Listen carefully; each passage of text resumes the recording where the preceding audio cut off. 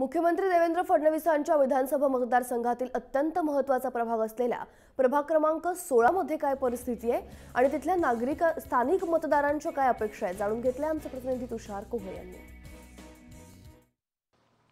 आपण यावेळेस आहोत नागपूर महानगरपालिकेच्या प्रभाग क्रमांक सोळामध्ये म्हणजे मुख्यमंत्री देवेंद्र फडणवीस यांच्या विधानसभा मतदारसंघातला अत्यंत महत्त्वाचा प्रभाग. या महत्त्वाच्या प्रभागामध्ये मतदारांच्या काय अपेक्षा आहे आणि या महत्त्वाच्या मत मतदारसंघामध्ये काय समस्या आहे हे आपण जाणून घेण्याचा प्रयत्न करूया. काय सांगाल? खरं तर या मतदारसंघामध्ये काही विकास झाला का? आणि विकास झाला तो कोणता आणि येथील प्रमुख समस्या कोणत्या? विकास तर दोन वर्षापासून मान्य मुख्यमंत्र्यांनी या मतदारसंघाचे आमदार आहेत आणि महाराष्ट्राचे मुख्यमंत्री फडणवीस साहेब झाल्यापासनं या मतदारसंघात विविध विकास कामे झालेले आहेत.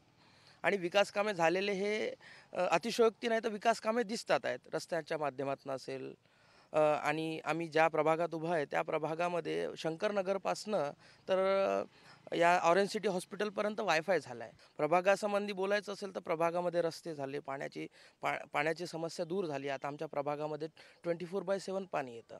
आम्ही पहिले दोन दोन तीन तीन चार गुंड पाणी भरत होतो. आज एक बॉटल दोन बॉटल पाणी भरतो आहे म्हणजे ट्वेंटी फोर बाय सेवनची समस्या जी होती म्हणजे पहिले होती आता ती नाही. ट्वेंटी फोर बाय सेवन पाणी आमच्या प्रभागात येत आहेत.